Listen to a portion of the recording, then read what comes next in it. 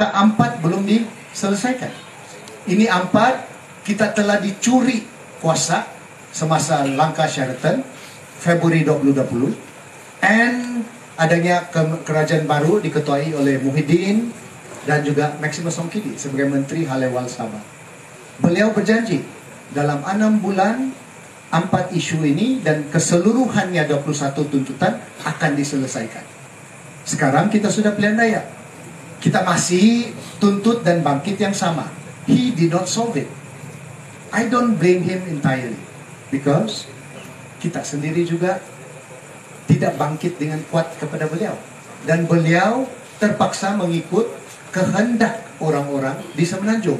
KSU lah, kementerian dia lah, dan sekian dan sekian. Now, how are we ever gonna resolve this? Kenapa empat penting? It involves money. Money is important untuk men- mentabiri satu negara ataupun negeri. In the case of Sabah, we cannot be keep on begging kepada mereka. So we look at Sarawak sebagai satu example. Sarawak has found a formula.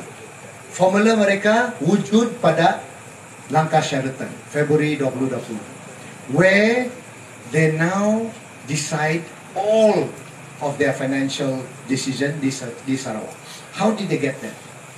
Ada 19 ahli parlimen di Sarawak. 19 of them memberikan sokongan kepada Muhyiddin. Tetapi dengan syarat dan Muhyiddin akan memberikan polisi-polisi yang patut diberi kepada Sabah melalui perjanjian sokongan dengan Muhyiddin. 19 MP sokong Muhyiddin, berapakah majoriti Muhyiddin sebagai Perdana Menteri? Tiga. Kenapa 19 sokongan tapi dia dapat tiga saja? Because orang Semenanjung pun tidak setuju dengan Muhyiddin. Sarawakians dengan formula baru ini telah memberikan sokongan dan dapatnya 21 tuntutan seper, se- sebagai polisi. Dia bukan undang-undang. Dia tidak dapat jadi undang-undang sebab Dr. Max kata give me six months. He promised to settle it. But it was never settled and it is yet to be settled. And that is why Sarawak kept on supporting Muhyiddin and Ismail Sabri sebagai Perdana Menteri. Because they got theirs as a policy. Now, what is that policy? If kamu faham pasal oil and gas, tahun 76 kita hilang kita punya oil and gas. Eh, You remember all this? 1976 we lost the ownership of our hydrocarbon yaitu oil and gas. Tetapi ada satu yang mereka tidak dapat dari kita yaitu pelantar benua kita, our continental shelf. Itu adalah dalam tangan orang Sabah, kerajaan Sabah dan juga kerajaan Sarawak termasuklah semua negeri-negeri di semenanjung Malaysia. Tetapi melalui ordenan darurat 1969 mereka took control of our pelantar benua. Now, why is that important? It is important sebab when KL controls your pelantar benua, they will give permission senang-senang kepada Petronas untuk memecahkan seabed ataupun pelantar benua kita dan ekstrak minyak dan gas daripada pelantar benua kita. With that, they start getting money. And they get richer and richer and richer all the time. Dengan Sheraton Move dan juga sokongan Sarawak kepada Perdana Menteri waktu itu, Muhyiddin, mereka terus dapat hak untuk kontrol benua mereka. Buktinya adalah pada 21 Julai 2021, Sarawak Petros telah memasuki dalam satu perjanjian dengan Petronas untuk memecahkan benua dan ekstrak oil and gas di Sarawak. Bagaimana Sarawak dapat buat ini? Maka tiada, there is no state in the whole of Malaysia that was able to do this. Hanya Sarawak. Dan adanya juga the second production sharing contract on 21st kalau saya tak salah Januari 2021 22 dan juga satu pada September 2022. The Sarawakians have figured it out.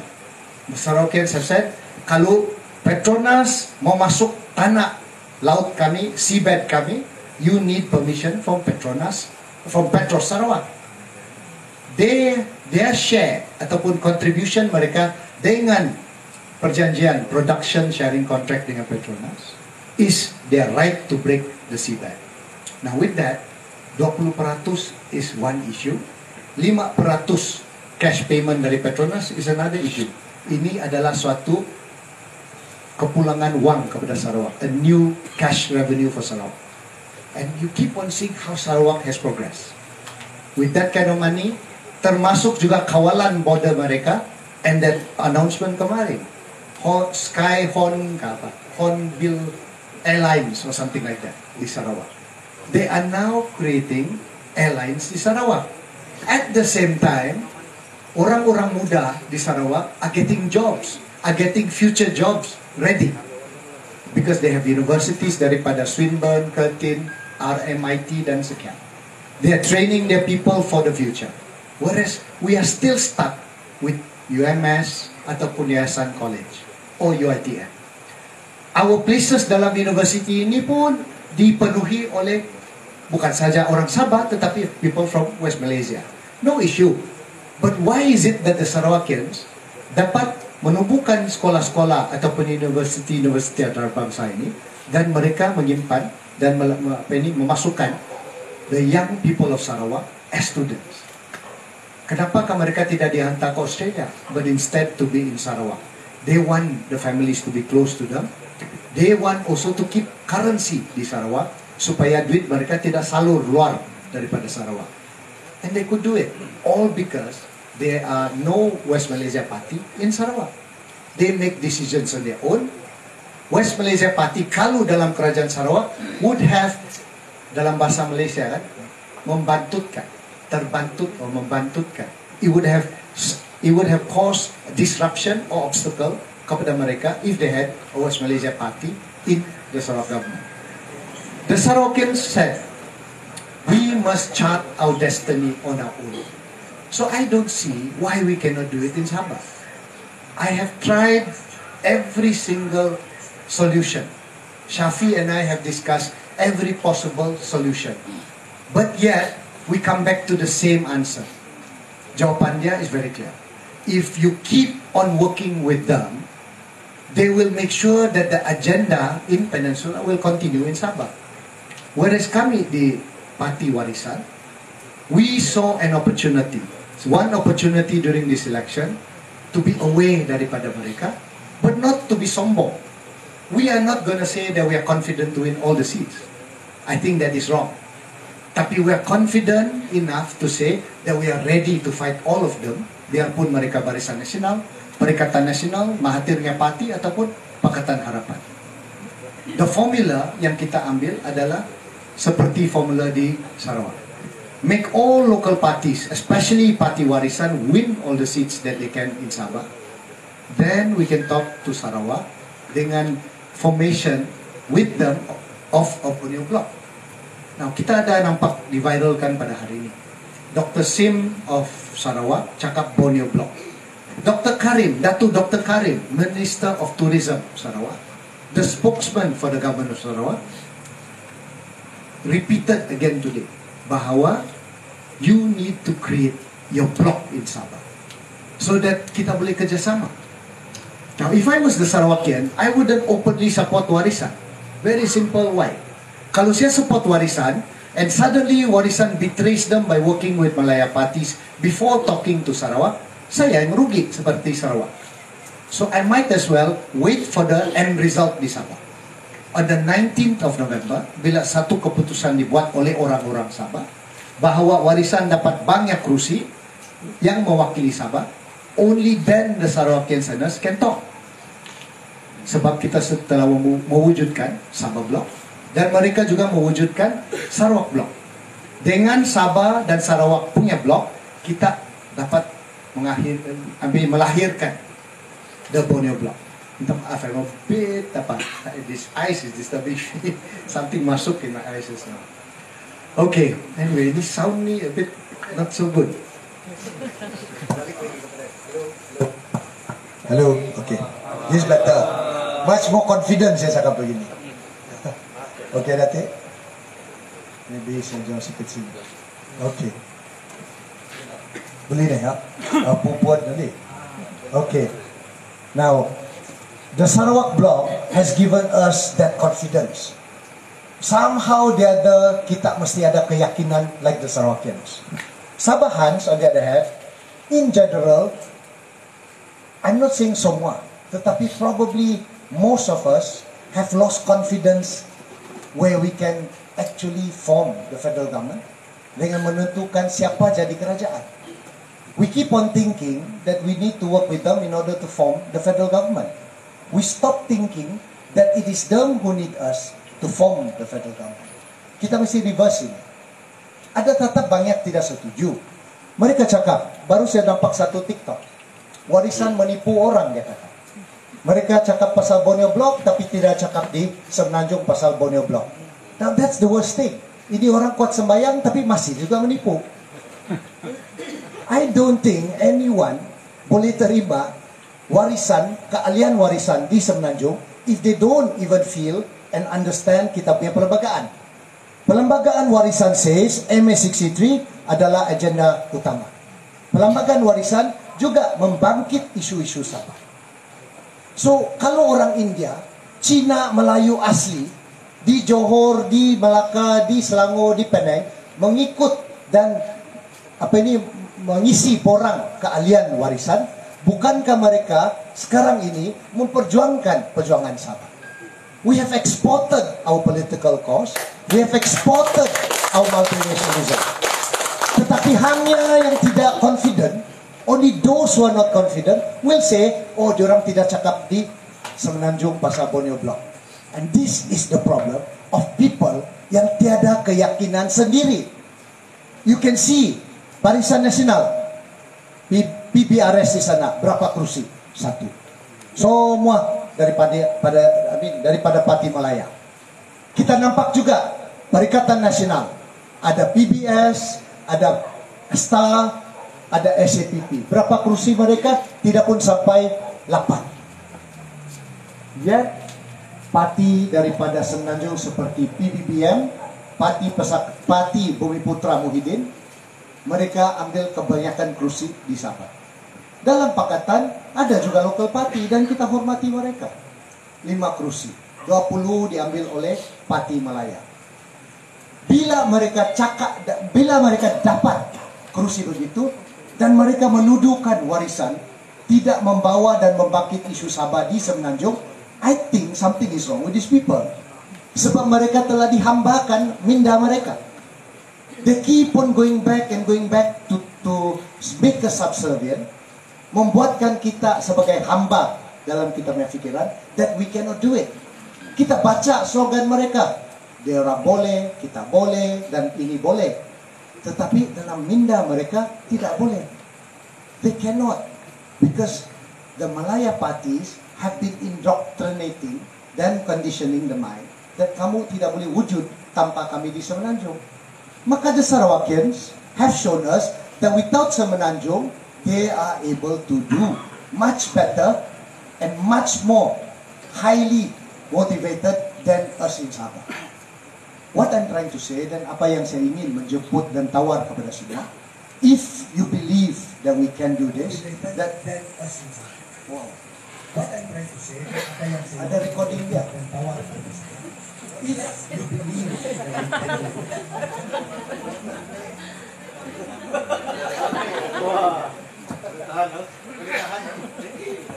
Eh, halo, oke. Okay. Banyak dengan problem hari ini. I don't know why. Coba, coba. No, every time you want to bring something good, just like Semenanjung. Every time kita membawa suatu isu yang baik, suatu kebangkitan Sabah, adanya datang masalah kepada kita. We have seen 1976 adanya nahas kapal because those people were thinking of Sabah first. We have seen maybe Berjaya was created and then pulled down by the same people in Semenanjung using the registration of PBS. We have seen how PBS membangkit isu Sabah juga dijatuhkan. Dan akhirnya we were adulterated in 1994. Kita telah dicemarkan dengan parti-parti yang datang daripada Melaya pada tahun 1994. I don't think some of you all were born at that time. I know saya punya anak buat tidak. 1994, you were not even born yet. But yet, those were the times di mana mereka telah mencemarkan kita punya minda. They made us less confidence. Tidak yakin bahawa we will be able to do what is best for Sabah. Instead, they kept on indoctrinating to your mind that you need them to form the federal government. Sebelah kita di Sarawak pula, mereka telah realisasikan hal ini. Dan mereka telah mencari formula. So this election, formula Sarawak itu kami ingin tawarkan kepada kamu. We wish to offer you this same formula as the Sarawakian. Give us as many seats as possible di Sabah, mewakili kamu di Sabah, dan kita akan kerjasama dengan kawan-kawan kita di Sarawak. Tetapi sebelum kami menubuhkan kerajaan persekutuan, before we form the federal government, we will put condition to them to agree first.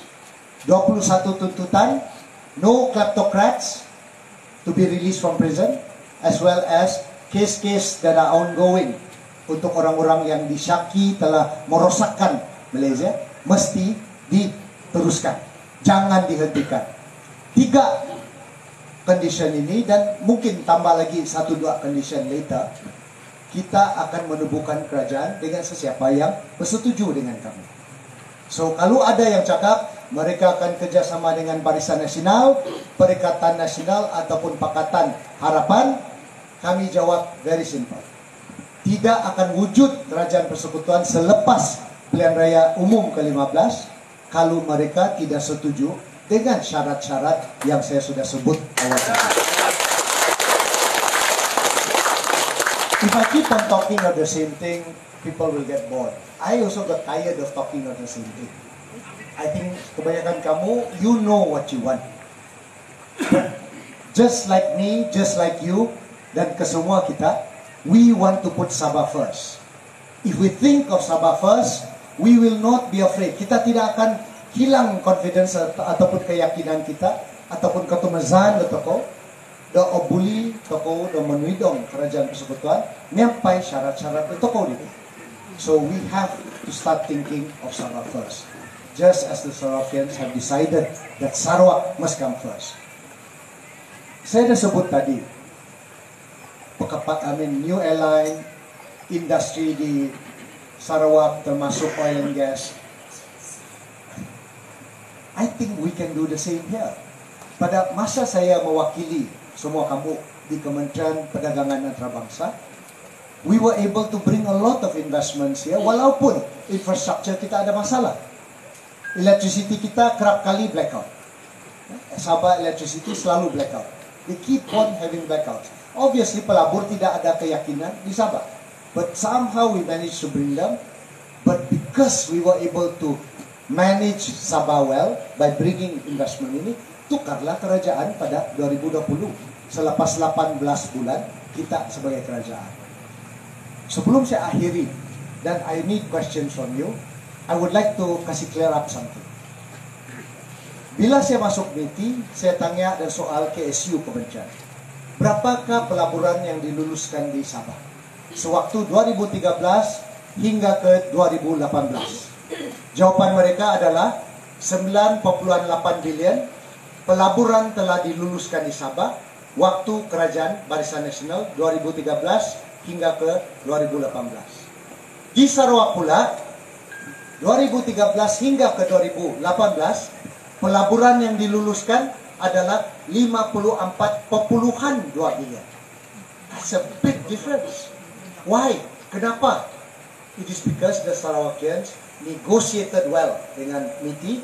It is because Sarawakians tahu kuasa mereka bahawa mereka boleh goncang dan memberikan suatu ketakutan kepada pemimpin-pemimpin di Semenanjung. Dengan apa yang kita nampak di Sarawak, kita telah menguruskan. Dalam 18 bulan kita mewakili kamu di MITI, kita telah meluluskan pelaporan sebanyak 18.1 bilion di Sabah. And it tells you it tells you that can. Kita boleh. Kita dapat buat yang terbaik. But for confidence. Kalau kita masih fikir kita perlu mereka di Semenanjung, I don't know where we will go. Instead, kita mesti yakin, kita mesti ada confidence bahawa mereka yang perlu kita untuk menubuhkan kerajaan yang akan datang. So, yeah, I was a, I don't know, I keep on hearing myself as an echo. Minta maaf. So usually kalau saya memberi ucapan dan I hear myself, I get lost along the way. Yeah, so I apologize kalau tidak clear saya punya message. But I hope kamu boleh soal saya so that I can give some answers. Ya. Ketua Dan dan kongsikan kemasan mobil.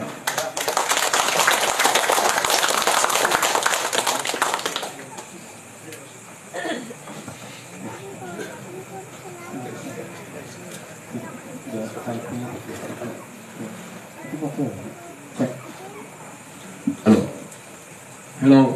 Kita beri tepukan sekali lagi kepada yang terhormat YB secara lighting dengan ucapan perjalanan yang sungguh uh, terang tadi dan mengikut program sebenarnya tuan-tuan dan puan yang berada sekalian kita uh, dalam uh, program sembang dan santai ini. Jadi boleh tanya apa yang tidak cerah kita boleh tanya sama YB sekarang juga. So kita apa ini? Dialog, berdialog dulu. Ada orang yang mau tanya sedikit kah tentang apa yang masih bingung-bingung? Jangan malu-malu. Banjir kah? Dipersilakan.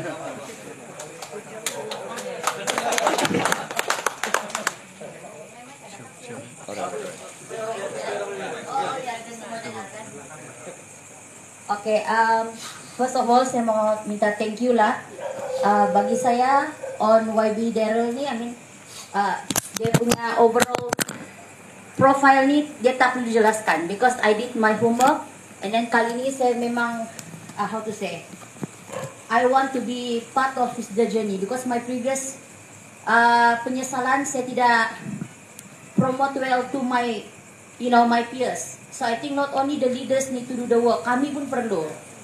Ya, so so saya punya soalan because ini antara yang halangan saya dapat bila saya try untuk mempromotkan dengan uh, orang-orang yang negatif lah kan. Antaranya cakap ada yang memang setuju, tapi dia bilang saya ini kerja government. Saya takut, dia bilang kalau saya pergi pangkal warisan nanti pension saya akan tarik. Saya takut mau pergi share tu itu live live semua tu dia bilang. Saya takut ini, saya takut itu. So how should I counter orang yang kerja government ni? Even my own uh, family pun begitu. Saya tidak berani pincin saya akan tarik nanti dia bilang. Aduh doh doh saya bilang. So I want I told them only itu rahsia. Indah dong tahu itu dia bilang. So that is my um, one of the biggest challenge lah, especially those mindset yang masih hmm, kena kena kenapa kena yes. Ah oke. Okay. itu saja. My side thank you saudara bukan saja kita punya kawan-kawan di perkhidmatan awam yang adanya suatu keraguan begitu tetapi ramai juga kawan yang lain juga ada keraguan keraguan begitu. Sam tanya saya kalau kami sokong warisan dan mereka ketahui adakah bantuan saya tiap-tiap bulan akan ditarik adakah saya akan kehilangan segala hak-hak yang saya ada karena mereka sokong warisan. This is the problem dengan conditioning of the mind. Memberikan sokongan kepada sesiapa saja biarpun dia parti politik kerajaan ataupun pembangkang sepatutnya tidak menjadi halangan kepada hak kamu sebagai pengundi. Hanya kerajaan yang kejam yang kejam kepada kita, yang tidak memberikan kita apa patut diberi kepada sahabat, juga akan membuat demikian kepada orang-orang biasa. They will keep on conditioning your mind that you cannot. They keep on scaring you, giving fear to you, supaya kamu tidak boleh menjalankan kamu punya hak secara demokrat, demokratik. Macam juga kita di Sabah. Saya kaitkan kepada bila kita ingin membuat satu blok Sabah, di sanalah mereka menakutkan kita.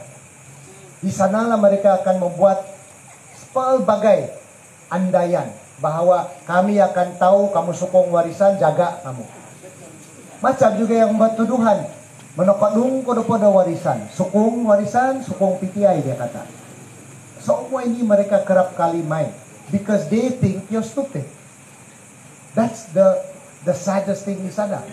Saya tidak marah dengan opinion mereka, Tetapi saya marah dengan fikiran mereka bahwa kita bodoh. And that is worse than even murder. Because they think you're stupid and they feed you stupidity. So, so, your soalan is very clear and very simple. That right, that hak tidak boleh dikacau oleh sesiapa walaupun mereka kerajaan. They cannot disturb you, they cannot punish you, they cannot do vengeance or revenge on you. Biarpun siapa jadi kerajaan. So, dengan nada yang sama, we should do a brave decision this time. We should do the right thing this time. We should write a future for Sabah, di mana we will say, enough is enough of your control over my future. Kasih. Terima kasih Datu dengan pencerahan. Ada lagi mau tanya?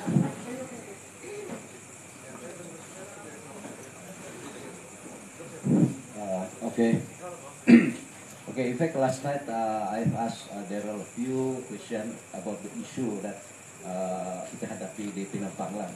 But uh, some of it, uh, kita sudah apa? Kita uh, menjawab. Jadi ada yang soalan yang dia tidak jawab. Jadi this one is involved in dabak juga, oke? Okay? Yang masalah uh, kesehatan tuh. Pinampang really need one hospital.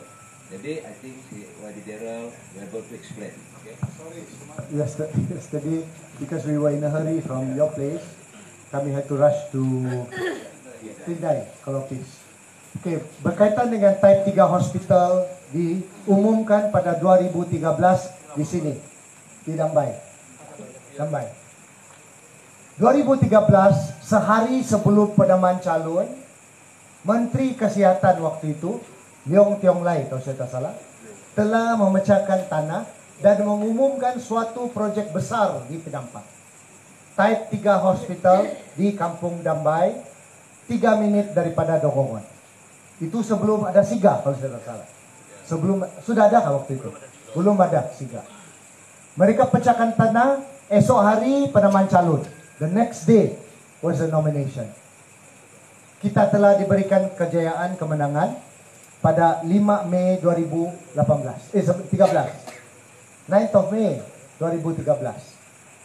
Lepas itu yang memecahkan tanah itu masih kerajaan. Masih kerajaan Barisan Nasional. Walaupun wakil rakyat mereka kalah. They were still part and parcel of Barisan Nasional from 2013 to 2018. There was no change of government. Hanya tukar ahli parlimen.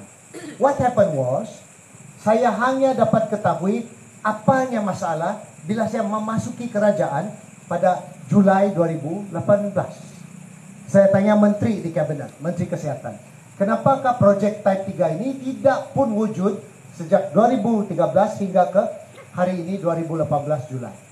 Jawapan menteri waktu itu Dr. Zul kepada saya di kabinet, ini projek sudah kena tarik. Tiada sudah. Tetapi signboard dia masih sana walaupun rosak. Orang masih bising dan marah pada saya. Itulah Daryl tidak buat tuh hospital dia bilang. Saya pembangkang. Yang lawan saya sekarang waktu itu kerajaan tahu. Yang lawan kita sekarang pihak kerajaan waktu itu. Kerajaan Barisan Nasional. So, lima tahun tidak dibuat, projek ditarik. Saya suruh pegawai saya follow up dengan Kementerian Kesehatan. So, Richard dan beberapa pegawai saya termasuk Liana kept on chasing Kementerian Kesehatan dan kita dapat balik allocation ini untuk penampang. Kita telah dapat balik, hanya kelulusan di majlis daerah belum didapati. So we had to do two issues di sana. Satu sekolah menengah di Kipovo yang juga ditarik, kita dapat balik. They kept on chasing this. Luckily, luckily, kita dapat kelulusan daripada Majlis Daerah Penampang, both buildings, yaitu SMK Kipovo dan juga Type 3 Hospital di Damai. Tukarlah kerajaan. Nasib juga Kementerian Education, Pelajaran, telah meluluskan dengan cepat tender untuk SMK Kipovo. Itulah selepas kita hilang kerajaan, dia ditenderkan. Waktu COVID, waktu MCO dia ditenderkan. Dan wujudnya SMK Kipovo dan sedang dibina sekarang. Type 3 Hospital Dambai dekat Dongongon pula. Walaupun kelulusan peruntukan sudah ada, kelulusan DP dan BP, Billing Plan and Development Plan ada, pentadbiran kerajaan Muhyiddin lambat mengeluarkan dia punya tender. Tetapi dalam jawapan parlimen dalam rekod, mereka telah senaraikan bahawa Type 3 Hospital di Dambai di Penampang itu untuk menampung masalah kita di Poliklinik Penampang akan dibuka tender pada Oktober 2020. Selepas kita hilang kerajaan. Tidak juga wujud. Saya tidak tahu kenapa. Kita soal lagi di parlimen pada 2021. Mereka jawab akan dibuka tender Julai ataupun Ogos 2021. Pun tiada. Dia orang cakap COVID. Kita tanya lagi pada 2022. Mereka cakap akan wujud, akan dibuka, tetapi kita ingin tambah ward COVID unit. Dia cakap begitu, COVID unit. Arti itu satu lagi pindaan kepada development plan dan building plan. Budget 2023 yang diumumkan oleh Tengku Zafrul tetapi tidak dapat diluluskan kerana parlimen telah dibubar juga mengumumkan satu projek mereka yang paling bagus kepada Pinampang. Projek Type 3 Hospital di Pinampang di tempat sama dengan allocation yang sama. So, inilah saya kata, this is the problem when you work with PBBM, you work with AMNO, you work with DAP, you work with PKR. Because we will always be given the same old story. Balik-balik cerita yang sama. Akan dibuat, akan dibuat, will be done. Saya pilih satu saja yang patut will be done. I will be done. Ini adalah will be done. So when it goes back to hospital, walaupun hospital ini type 3 dan sangat penting, they will always think second of Sabah. What more di Pinampang? Third for Pinampang. So we need to reset Sabah. Reset Sabah di mana kita menunjuk dan juga memberikan suatu amaran kepada mereka di Semenanjung. That we will be the same as Sarawak, that we will be better even than Sarawak sebab the people of Sabah has suffered enough. Thank you.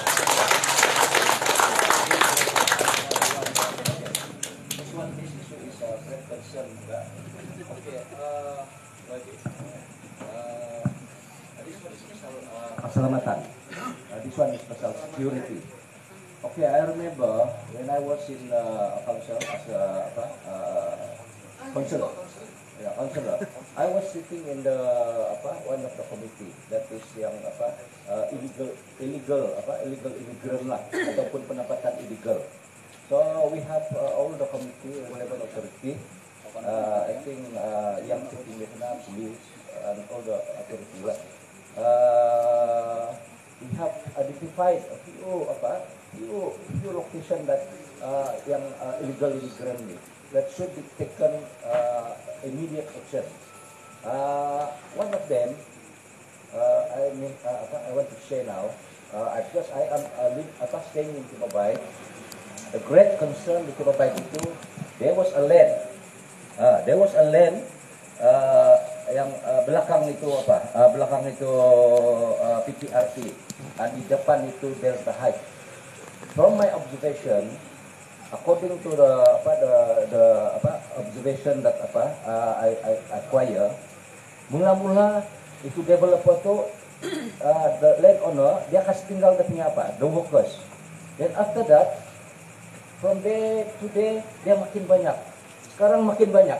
Makin banyak lagi so I ask the ketua kampung under GTK uh, kenapa kamu tidak kasih lapor dia bilang we already report but you know even itu authority pun ah, takut mau pergi apa pergi masuk di sana. So what is the problem? Why kenapa the authority don't take action? Because you know why? If they leave this apa matter kalau dia tidak settle sekarang lama lam- kelemahan is very hard to apa to to take action macam juga itu api I told them just now kalau dia kecil kita kasih pedang dia dia senang apa ha? kita uh, kasih pe- pedang dia tapi kalau dia sudah besar memang susah. Security. Di, di Penampang, thank you Michael. Di Penampang, masalah kita banyak berkaitan dengan security.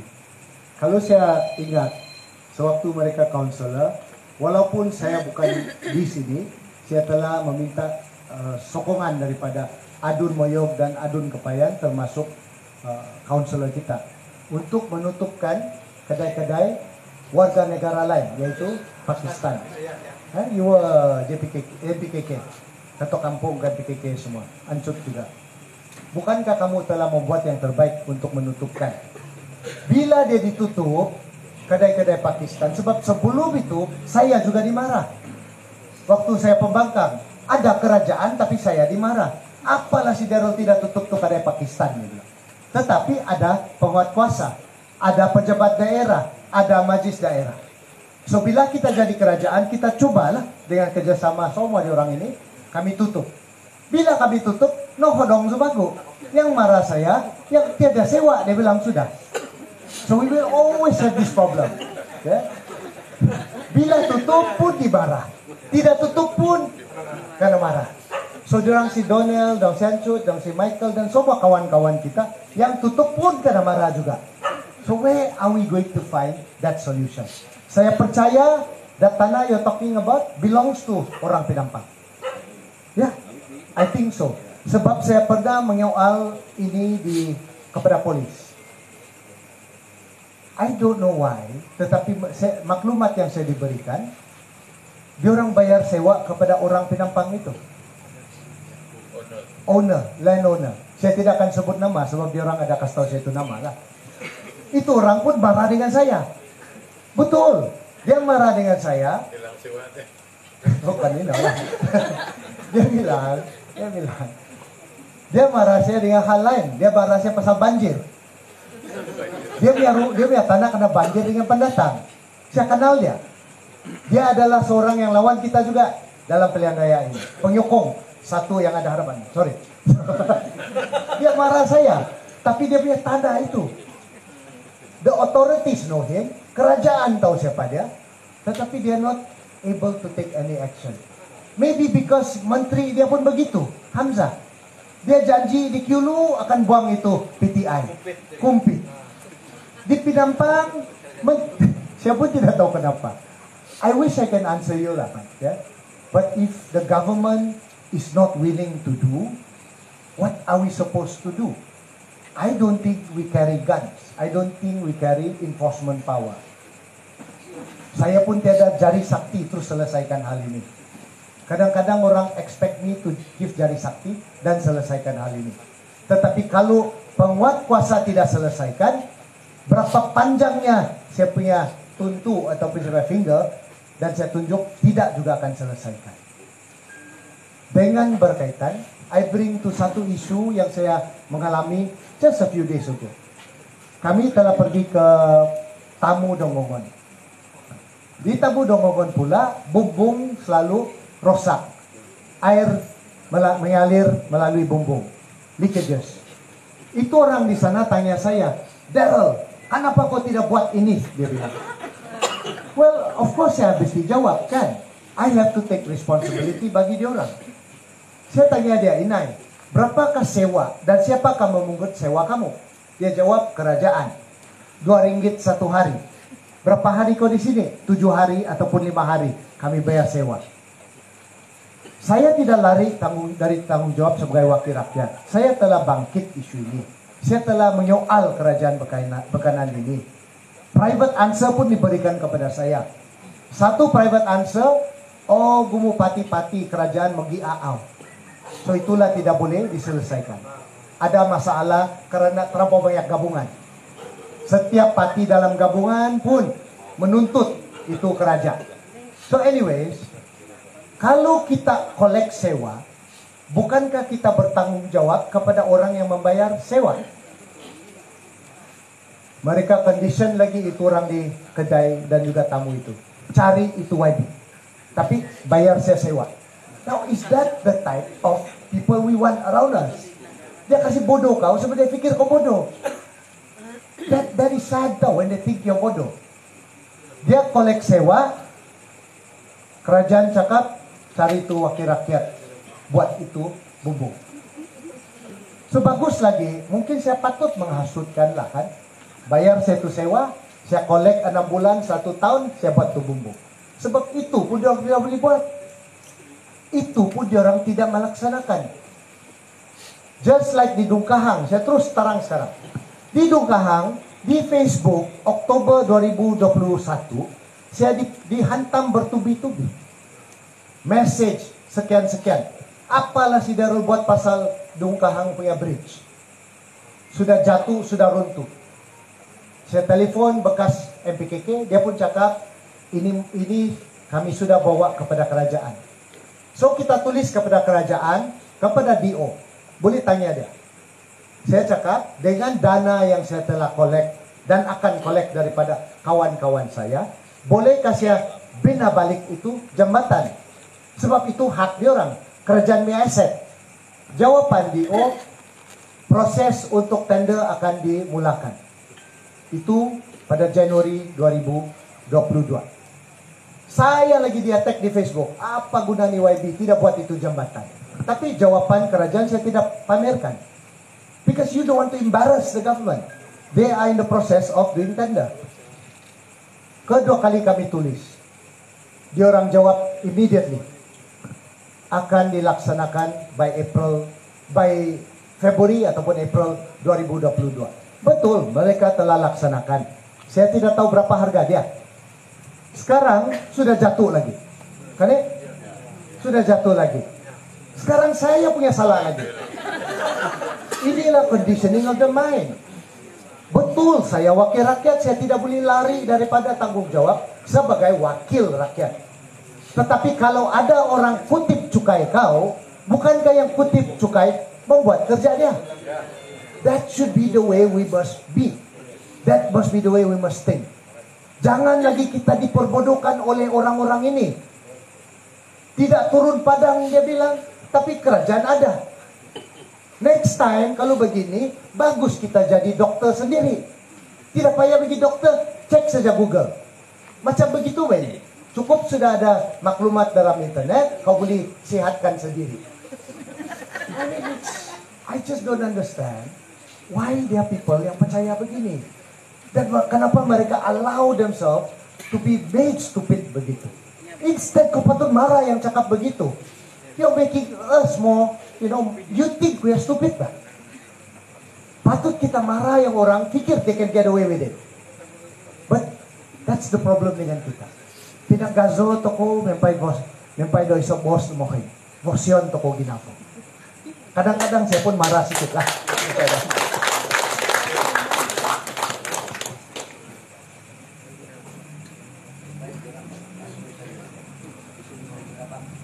Oke, Ketua Datu, penyerahan satu lagi yang sangat terang.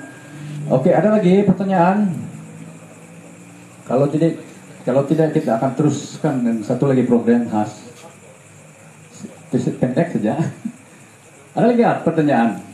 Yaitu upacara sedikit upacara daripada wanita di sini diketuai oleh uh, Jennifer dengan tiupan. Ah, Mitchell, sorry, sorry meniup uh, trumpet sofa.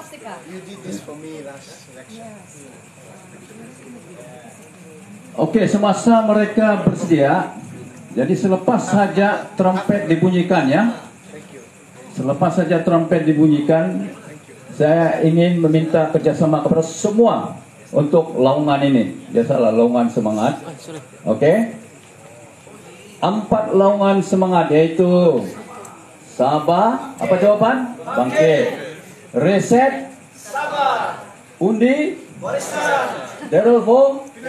Yang paling kuat, kuat yang last lah. Oke, kita teruskan dengan uh, upacara Glosofa.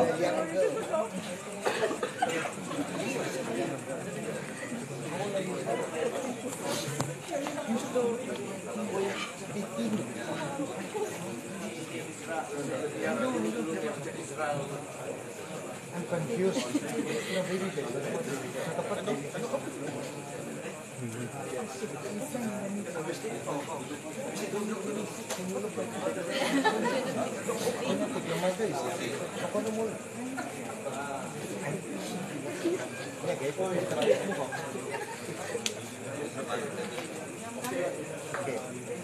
Oke, untuk itu kita semua berdirilah lagi bagus. Selepas itu kita bersorak nanti ya dengan lawan nanti.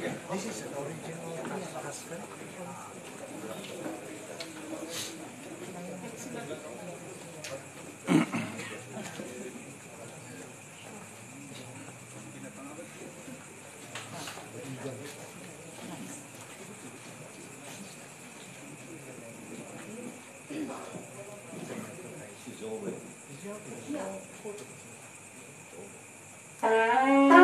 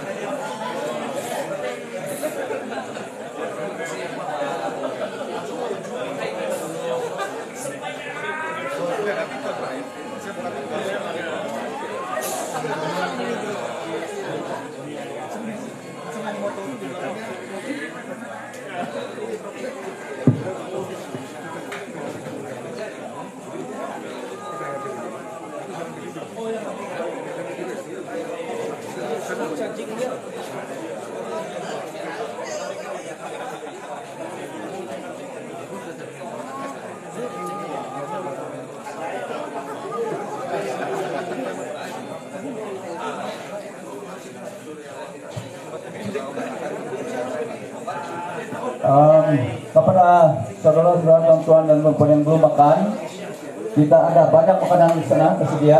Dan malu-malu ya. Kita serang uh, sembang-sembang sudah serang nih. Boleh bertanya-tanya, boleh bercakap-cakap dengan YB ataupun siapa pun. Mari makan-makan dulu. Ada juga minum-minum yang saya dengar. Dan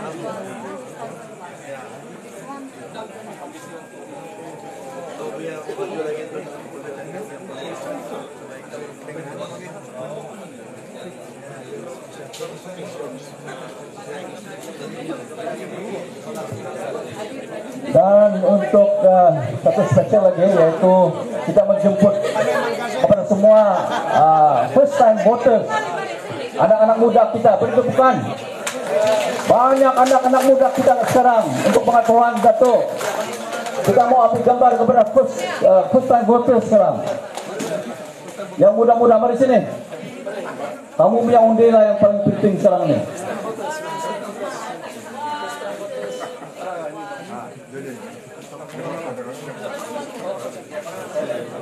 Anak-anak muda Bergambar sama Datuk dulu Kam-kam, cepat-cepat sikit Sebelah sini kamu. Membelakangi yang crowd. Sini, sini, cepat,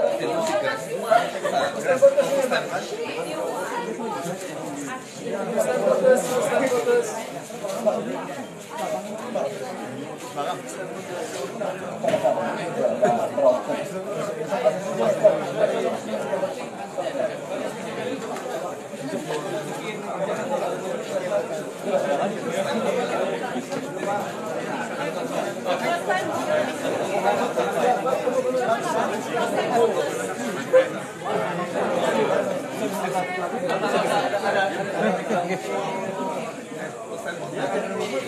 Cepat.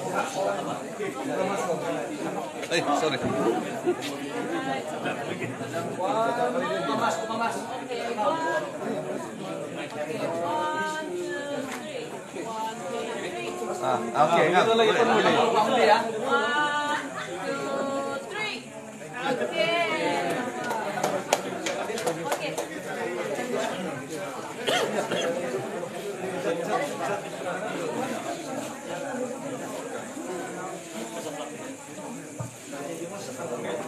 Hello, jangan malu-malu ya. Ada juga minum-minum di sini. Oke, sesi penggambar lagi. Eh, kamu berdirilah bersama Datuk.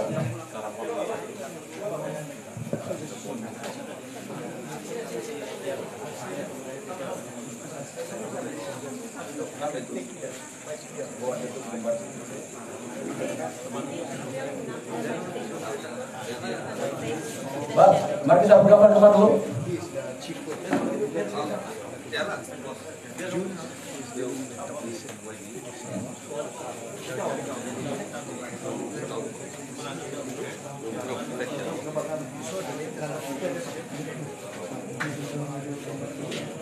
Dengan itu kita menjemput uh, Datuk uh, calon kita untuk uh, mengambil gambar bersama pengundi-pengundi kita di Kampung Lebang. Bah, kamu posisilah dulu.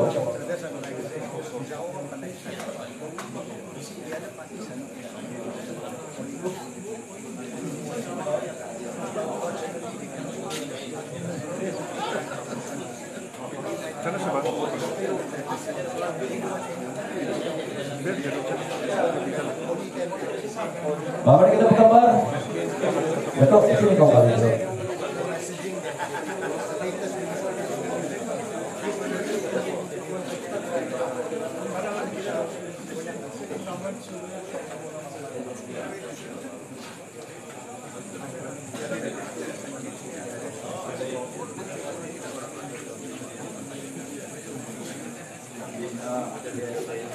Tapi sebelum itu kita uh, buat dulu penyerahan-penyerahan borang ah, keahlian, keahlian.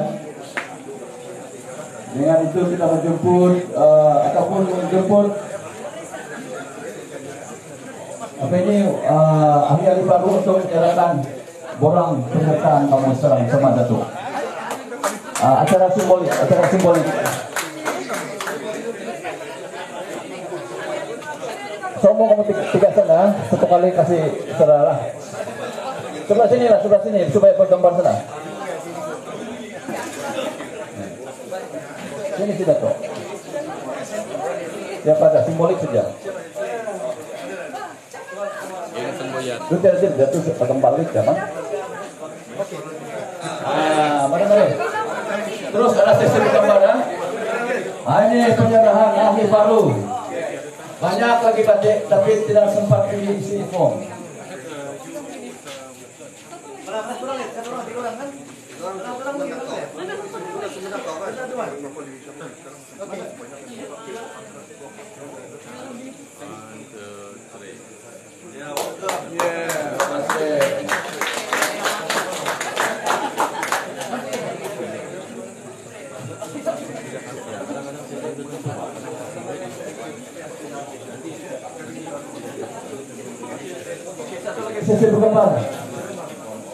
bersama pengundi-pengundi di Kampung Lebak. Kamu mau berdiri kau berduduk saja.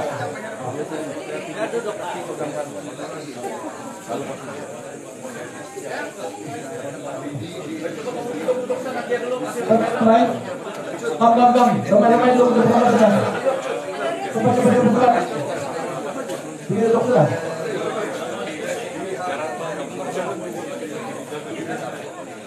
Satu kali nggak apa-apa, bareng-bareng nih. Cepat, cepat kasih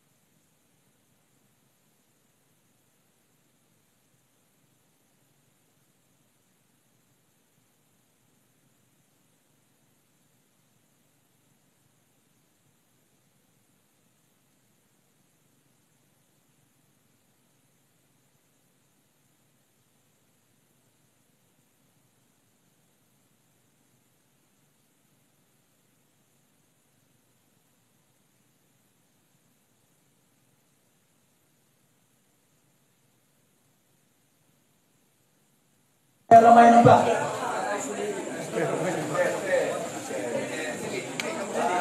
Ah.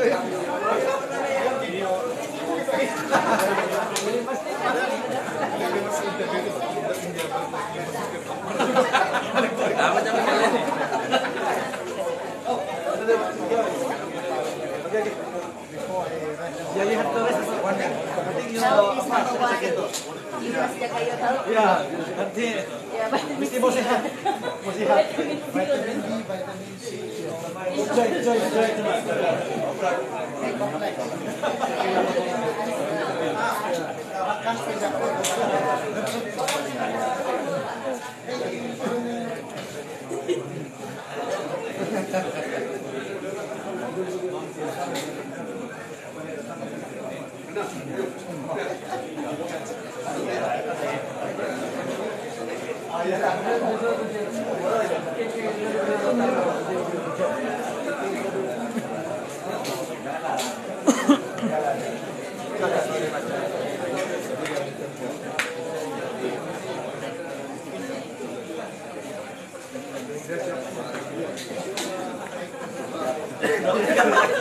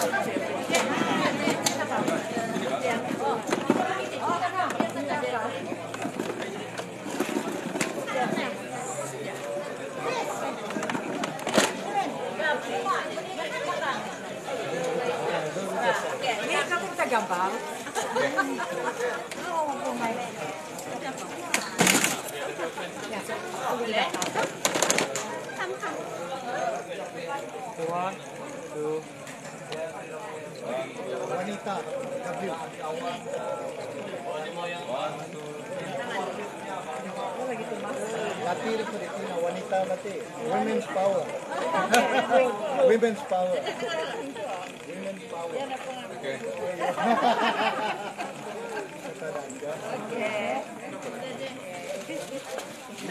Okay.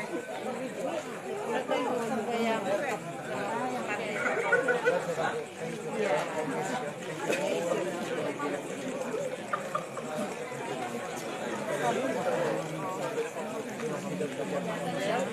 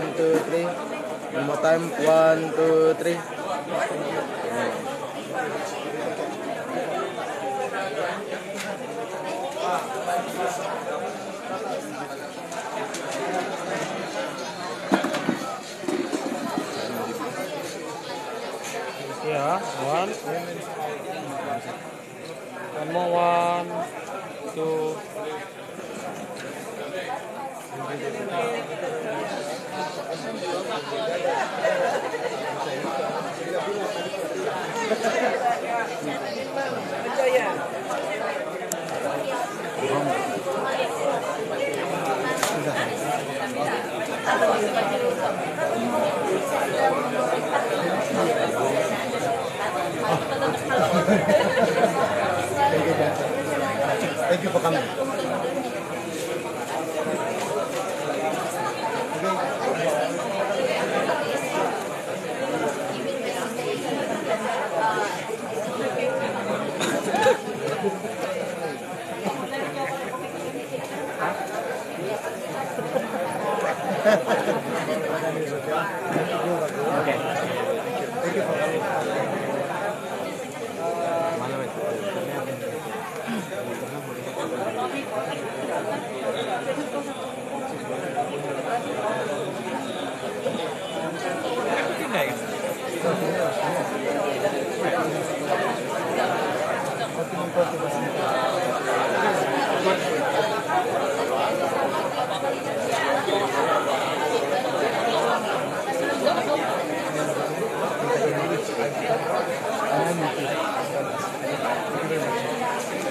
Thank you.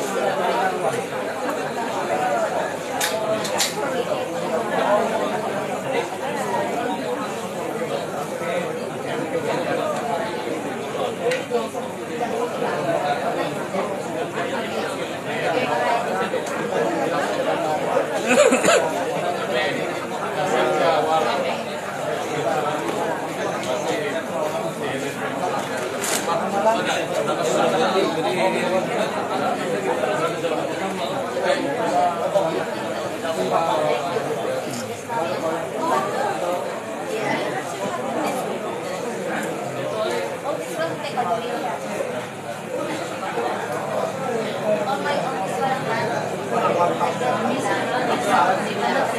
you.